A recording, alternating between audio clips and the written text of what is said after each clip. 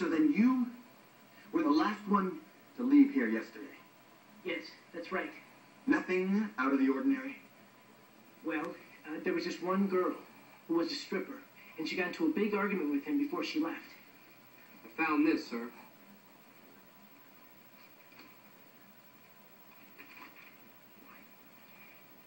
Then he fired his secretary.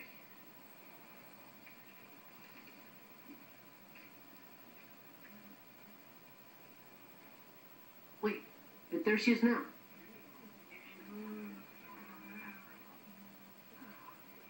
What's going on here?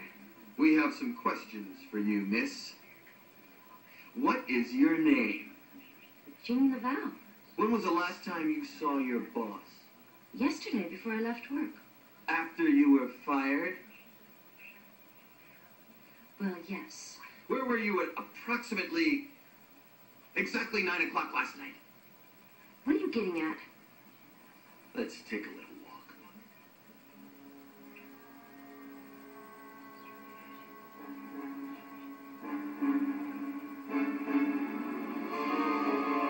Oh my God.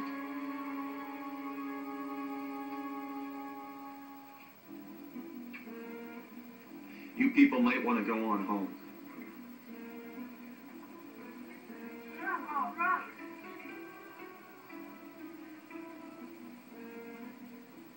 You should have seen how angry she was before she left. Who knows what she was thinking? Would you be quiet? This is a rather sticky question, miss, but. Is this your stocking around his neck? No, that is certainly not mine. Oh. Exactly how upset were you after you were fired? I was in a sour mood. Did I mention that she filed a sexual harassment suit against him about a month ago? And then she said she couldn't wait for it to go to court. Oh, really? Wait a minute. Why don't you ask her some questions? That's her stalking around his neck. Uh, miss. May I call you Busty? The name is Bettina. Yes, well, uh, when was the last time you saw Mr. Wilter? Uh, we spoke yesterday. He asked me to come back for the check that he owed me. I see. And when did you come back? Later that evening? No, I'm just coming back for it now. Are you certain about that? You should have seen the argument she had with him. It was worse than the one Jeannie had. Can't you keep your mouth shut already? Why? What are you trying to hide? What do you mean? Isn't it obvious? You both hated this man. Typical male chauvinist, right? Huh? Probably planned this out together. Worked out an alibi and, and, and everything. Now, wait just a minute there, mister. Then you better get yourself an attorney. A good one. We're taking you both downtown for questioning. Come on. Oh, no. Wait! Put your hands off me! All right, everybody put your hands where I can see them. Not you. Take your guns out of your holsters and, and put them on the floor and kick them over toward me. Think about what you're doing. Do it!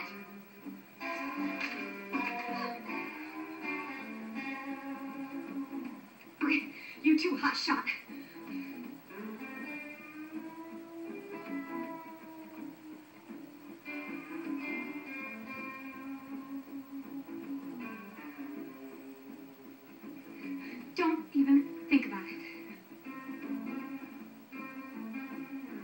God, what are you doing? Just follow me and pick up those guns.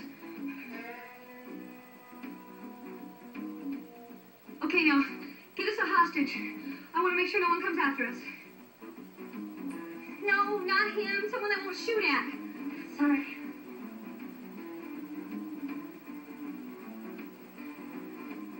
Oh no, Jeannie. When I said I wanted to spend more time with you, this isn't what I meant. Would you shut up?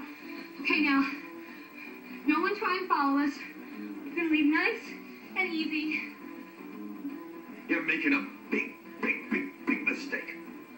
You'll be making a bigger one if you come after us.